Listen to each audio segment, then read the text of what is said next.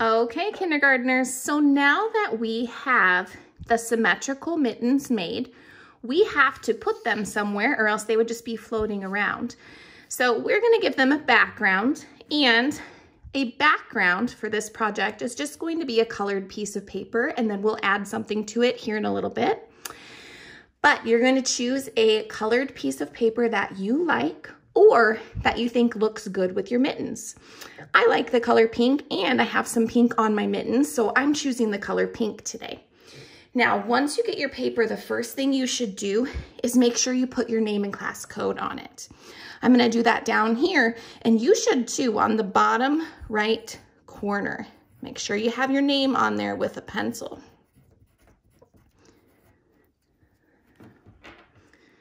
Okay, and I don't have a class code, so I'm just writing Mrs. Alberts, okay? But make sure you have your class code on there.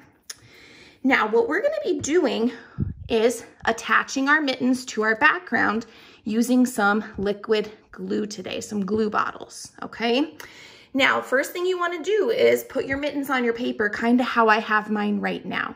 They both need to be able to fit on your paper, so it's important that you make sure they both can fit. You don't wanna put your first mitten on like that because then do you have room for your other one? Nope, you wanna make sure they both fit.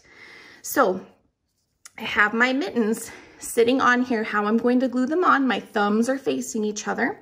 So now it's time to glue. So I'm gonna open up my glue bottle, flip over my first mitten and let's get it glued on. So I'm gonna go dot, dot, not a lot, dot, dot, not a lot, dot, dot, not a lot, the whole way around.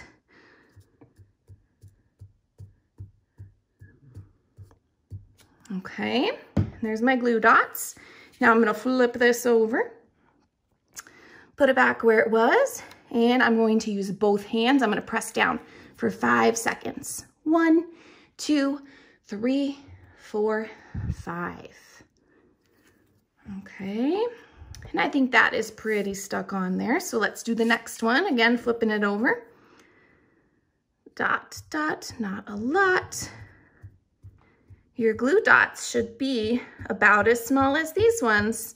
If you have too big of glue dots, then when you press your mitten down, you might end up having glue that squeezes out and gets all over your picture. Flipping it over and again, I'm gonna take my hands and press for one, two, three, four, five. Now, if you really wanna be sure it's stuck, we can always do a shake test. And we're good to go. Now, for the next step, we're gonna do something a little bit fun. And you are going to be getting some cotton balls, okay? The cotton balls are going to go on the bottom of your mittens to make it look like it has a little bit of a cuff around the mitten. And you're going to have six cotton balls. So if you have six cotton balls and your mittens are supposed to have symmetry, how many cotton balls do you think go on each mitten? If you said the number three, you are correct. Okay, so we're gonna do three. If you have smaller hands, which a lot of you are going to have much smaller hands than me, you may only need two cotton balls on each mitten, okay? You might not need three. So if three doesn't fit, just do two, okay? Here's how we're gonna stick them on. Normally, like I say, we do dot, dot, not a lot. For these cotton balls, I want you to use a little bit more glue. Don't go too crazy, but it should be more than a tiny dot or else the cotton balls are gonna just fall off, okay? So we're gonna start in the middle of each mitten. So down here under the mitten, I'm gonna make a blob of glue in the middle. Okay, so your blob of glue should be about that big. And taking that first cotton ball, I'm gonna press it down. One, two, three, four, five. I'm not gonna go crazy here. I'm just gonna do a little shake test, make sure it's stuck. Now I want these to have symmetry, same thing on the other side glob of glue in the middle. Got my cotton ball. One, two, three, four, five. Little shake test, and it's good. if you go crazy and you shake it a lot, your cotton balls are gonna fall off no matter if they're stuck or not. so you don't need to shake it very hard. Now I'm gonna do two at once on each side this time just to save us some time. So we'll do a glob of glue there, a glob of glue there, and let's stick these on. One on each side. One, two, three, four, five.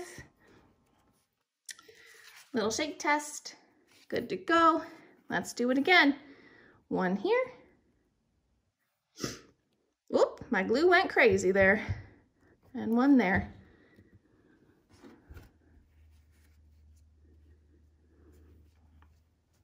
One, two, three, four, five. Okay. Now, if you ever get glue somewhere that you don't want, like how that just happened to me, there's two things you could do. The first one is you could just leave it there because glue is going to dry clear so you won't see it anyway. Or you could use a finger to wipe it up. And then if you take it in your fingers, some of you know this trick already, and you rub it in your hands, it'll disappear like magic, okay? So you can do that. You don't need to grab a tissue or a paper towel or something to wipe it. If you rub it in your fingers, it'll just go away on its own. Now, there is one more step to this project, okay?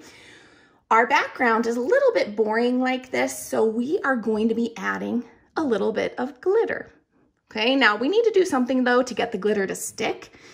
And so we're gonna be using that glue again, and your teacher is going to help you get the glue, or I'm sorry, get the glitter on, but you're responsible for getting your own glue on, okay?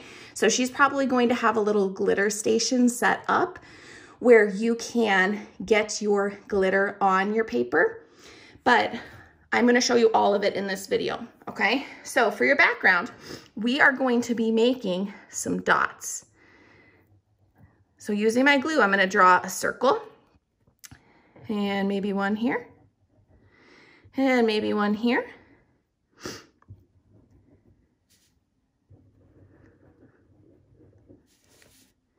And I'm just gonna add them wherever I think a little bit of glitter would look nice. So we're making some dots. Okay, now everywhere that I have my glue right now, that is where the glitter is going to stick to. So I'm not gonna go too crazy because if I do, and I have a lot of glitter on my background, that's going to take away from all the hard work I did on my mittens. So you don't need too much glue, but you wanna have probably at least like five glue dots. I think I have more than that. I think I have 10. You know, 10 is probably the most you need, okay? You don't need more than 10. Now, really quick, I'm done with my glue now, so I'm gonna close it, wipe it. Gotta make sure you always wipe off your glue or else glue will get stuck up here for the next person, and that's no fun if you're that person that ends up with a clogged glue. Let's put our hands together and that glue is going to disappear. Okay, now I'm gonna add a messy mat really quick so I can show you what that glitter is going to look like. Okay. Now again, your teacher's gonna help you with this, so you're not doing your own glitter. But I'm going to do mine on my messy mat so that you can see what it's going to look like, okay? So again, anywhere that I put that glue is where that glitter is going to stick. And let's see what it looks like.